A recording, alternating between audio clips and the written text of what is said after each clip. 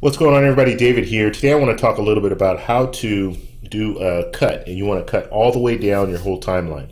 So all the tracks in your timeline you want everything cut all the way.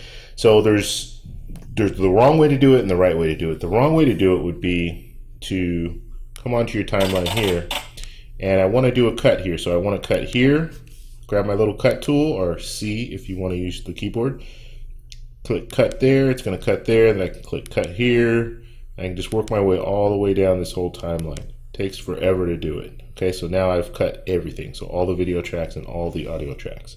Now, if the audio and the video tracks are linked together, when you do the cut, it will cut both. But the easiest way to do this is if you hit the shift key, you see that? You see how it's on all of the tracks now? If I hit the shift key, all I need to do is one click, it cuts everything.